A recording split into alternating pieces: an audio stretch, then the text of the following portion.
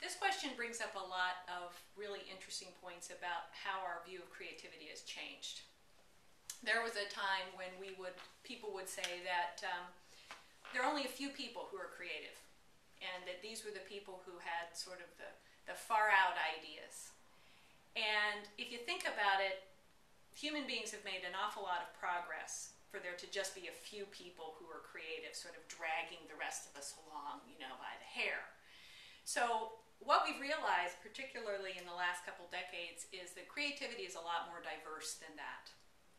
And in fact, psychologists will now tell you that everybody is creative. Every living human being is creative.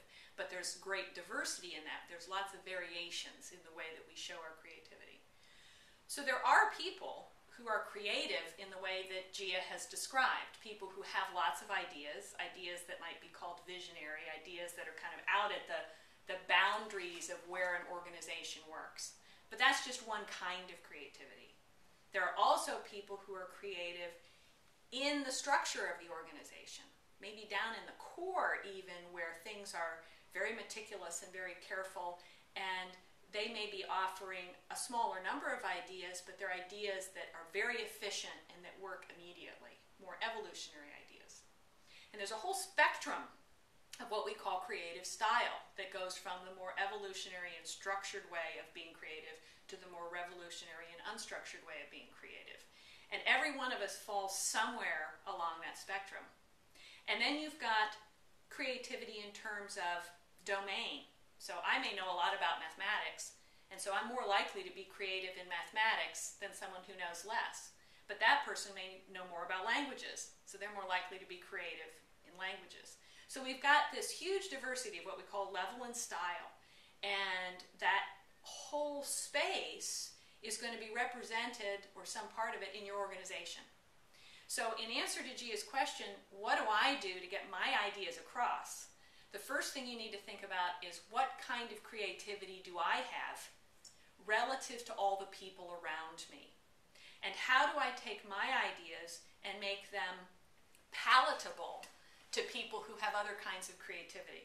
So if I'm one of the people who thinks revolutionary thoughts, how do I make those ideas look creative to the people who think more evolutionary thoughts?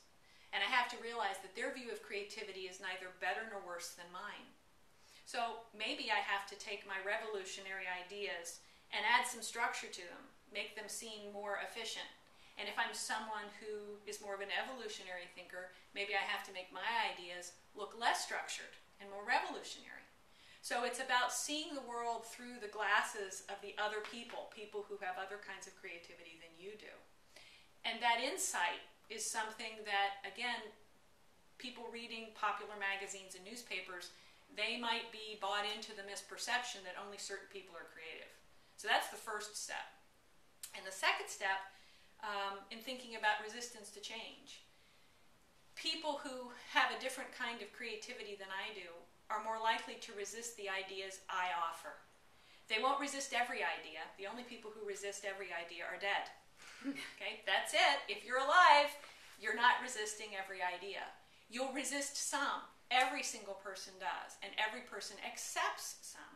So the question is not gee, what should I do with these people who resist my ideas? But which ideas will they accept and which ideas will they resist? And how do I make my ideas look like ideas they will accept?